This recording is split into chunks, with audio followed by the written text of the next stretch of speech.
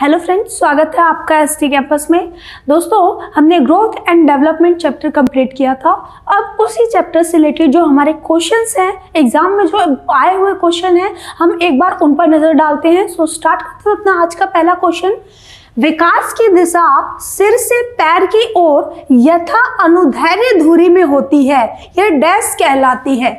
Option A cephalocaudal option B समीप से दूर. Option C caudocephalic. And option D is दूर से समीप. दोस्तों, अगर आप लोगों ने वीडियो देख रखी है तो आप इस क्वेश्चन को इजीली बता सकते हैं कि इसका क्या आंसर होगा. अगर आता है तो आप इस क्वेश्चन को जो है कमेंट में लिख करके बता सकते हैं.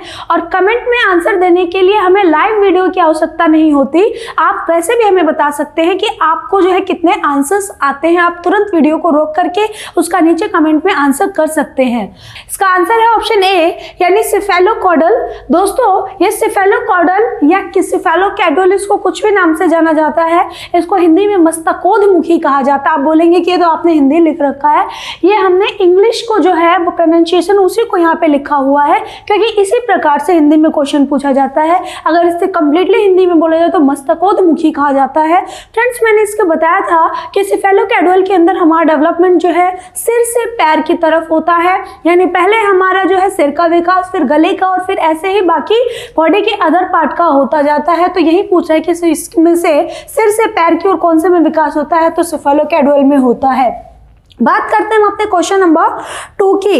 विकास की दिशा डैश है, option A cephalocaudal option B proximodistal option C A and B and option D is इनमें से कोई नहीं।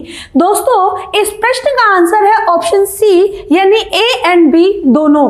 मैंने जब ये चैप्टर आपको पढ़ाया था तो मैंने आपको बताया था इसके अंदर कि हमारा विकास का सिद्धांत, जो शारीरिक विकास का जो सिद्धांत है, वो दो तरीके से है। एक सिफेलोकैडुअल और दूसरा प्रोक्सीमोडिस्टल सिफेलोकैडुअल के अंदर जो है, मैंने आपको बताया था कि सिर से पैर की तरफ़ विकास होता है, जिसको हम लोग लंबवत भी बोलते हैं। और दूसरा जो है, हमारा प्रोक्सीमोडिस्टल होता है, जिसके अंदर हमारा विकास जो है, दूर से सॉरी निकट से दूर की ओर होता है। यानी पहले नाभि के आसपास के एरिया का विकास होता है, उसके बाद हमारे बॉडी के अन्य हिस्से का विकास होता है।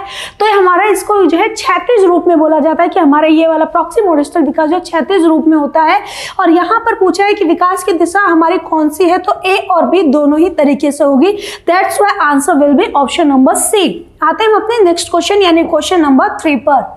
निम्नलिखित में से कौन सा होता है जब परिपक्वता एवं अनुभव के कारण मनुष्य में क्रमिक और प्रगतिशील परिवर्तन होते हैं? दोस्तों, यहाँ पर दो शब्द आए, एक परिपक्वता और एक अनुभव। आपको मैं ये बता चुकी हूँ परिपक्वता और अनुभव। अगर आप सभी को याद होगा तो मैंने एम और यहाँ पर एल के बारे में आपको बताया था। और बताया था D is equal to M into L यानी कि एम का मतलब मैच्योरिटी बताया था जो कि परिपक्वता, यानी जैसे जैसे हमारी एज बढ़ती जाती है, वैसे वैसे हमारी सोचने समझने की क्षमता बढ़ती जाती है, जिसको परिपक्वता कहा जाता है और अनुभव जो व्यक्ति अपने समाज से अनुभवों के द्वारा जो उसको सीखता है, उसको अधिगम कहा गया है और अधिगम को ही हम अनुभव भी बोल सकते हैं, क्योंकि अधिगम किसे कहा जाता है? अनुभवों के द्वारा होने वाले हमारे व्यवहार में स्थायी परिवर्तन को अधिगम कहा जाता है। तो यहाँ पर अधिगम ना लिख करके अनुभव लिखा है, जो कि एक्चुअल में हम उसको उसी फॉर्म में ले सकते हैं। दैट्स वाई यहाँ पर ये पूछा है कि परिपक्वता और अनुभव के कारण मनुष्य का विकास होता है। तो ये क्या है? ऑप्शन नंबर ये क्या होता है? तो उसका विकास होता है। इसका आंसर मैंने वैसे ही आपको बता दिया। आते हैं हम इसके नेक्स्ट क्वेश्चन यानी क्वेश्चन नंबर फोर की ओर। इनमें से कौन सी आयु परवर्ती बाल्यकाल की श्रेणी में आती है? दोस्तों, परवर्ती का मतलब यहाँ पर लेटर चाइल्डहुड से है, यानी उत्तर बाल्यावस्था से है।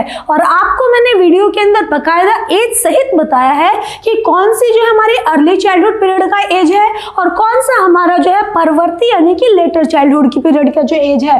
तो लेटर चाइल्डहुड का जो हमारा आंसर है वो क्या होगा? ऑप्शन नंबर बी यानी छह से बारह वर्ष। और बाकी सभी ऑप्शन इसके गलत होंगे। आते हैं हम अपने नेक्स्ट क्वेश्चन यानी क्वेश्चन नंबर फाइव की ओर।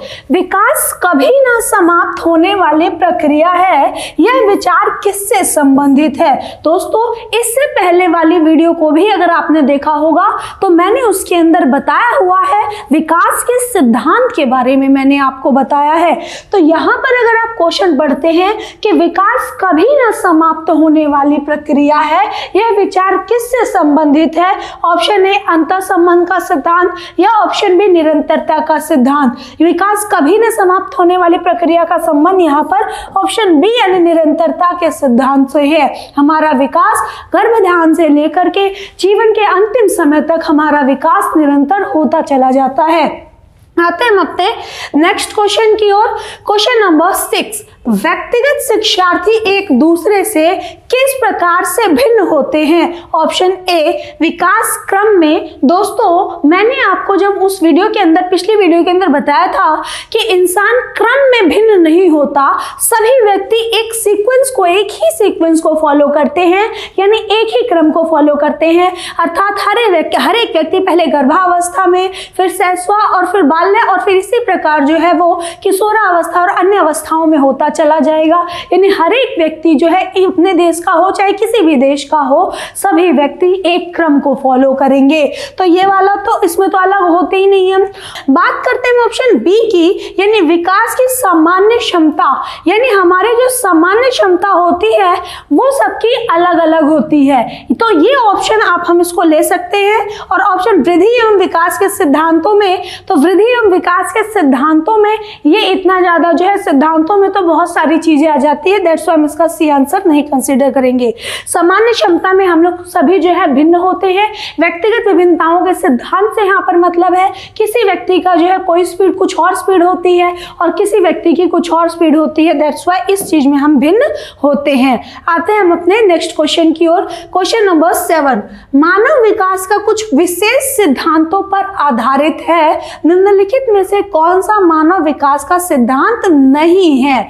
ऑप्शन ए सामान्य से विशिष्ट सिद्धांत। दोस्तों, अगर आपने प्रीवियस वीडियो देखी या नहीं देखी तो पहले देख करके आइए। उसके बाद ही आपको इस वीडियो को देखने का फ़ायदा होगा। अन्यथा फिर आप सिर्फ़ इस वीडियो को देखेंगे तो इतना ज़्यादा बेनिफिट नहीं होगा।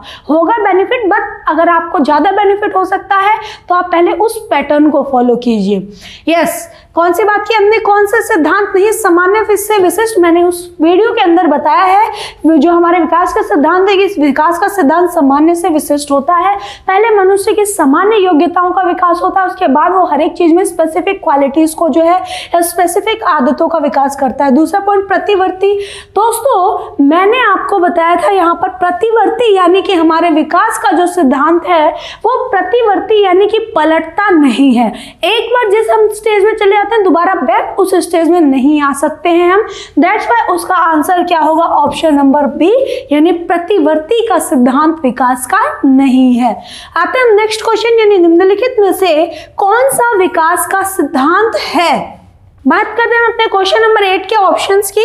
हमारे ऑप्शंस हैं। ऑप्शन ए सभी की विकास दर समान नहीं होती। ये बात बिल्कुल सही है। मैंने आपको बताया था कि सभी व्यक्ति जो है, उनकी स्पीड जो होती है, वो अलग अलग होती है। उनकी दर यानी उनका रेट एक जैसा नहीं होता। ऑप्शन बी सभी एक ही क्रम में विकास नहीं करते हैं। ये बात एकदम जो है गलत है, क्योंकि सभी व्यक्ति एक ही क्रम में विकसित होते हैं। ये निरंतर चलने वाली प्रक्रिया नहीं है। यह भी गलत ऑप्शन है हमारा, क्योंकि हमने बताया था कि विकास जो है वो कैसा होता है? निरंतर होता है। एंड ऑप्शन डी इज़ विकास अंतर संबंधित नहीं है। यह भी गलत ऑप्शन है, क्योंकि हमने आपको बताया था एकीकृत का सिद्धांत, यानी कि सभी विकास जो है एक दूसरे से इंटरकनेक्टेड है, यानी सभी विकास एक दूसरे से अंतर संबंधित है, और एक विकास का दूसरे विकास पर जो है प्रभाव पड़ता है। इस पर आप लोगों को एक कोटेशन भी याद होगी कि स्वस्थ शरीर के अंदर ही स्वस्थ मस्तिष्क का निवास करता है। यानी अगर हम शारीरिक रूप से अच्छे होंगे तो हमारा मानसिक विकास भी अच्छे से होगा। तो यही चीज़ से हम बता सकते हैं कि विकास एक दूसरे से इंटरकनेक्टेड है। दैट्स वाई इस क्वेश्चन का आंसर जो है हमारा ऑप्शन नंबर ए होगा। दोस्तों, ये हमारे क्वेश्चंस भी कंप्लीट हो गए और हमारा ग्रोथ एंड डेवलपमेंट का चैप्टर भी खत्म हो गया। इसी प्रकार हम आपके सामने और भी आपके सिलेबस से रिलेटेड और भी चैप्टर्स को लेकर के आते रहेंगे और उसके साथ साथ क्वेश्चन को भी लेकर के आते रहेंगे। आप इसी प्रकार हमारी वीडियोज़ को जो है देखते रहिए और वीडियोज़ को लाइक एंड चैनल को सब्सक्राइब करते रहिए। धन्यवाद।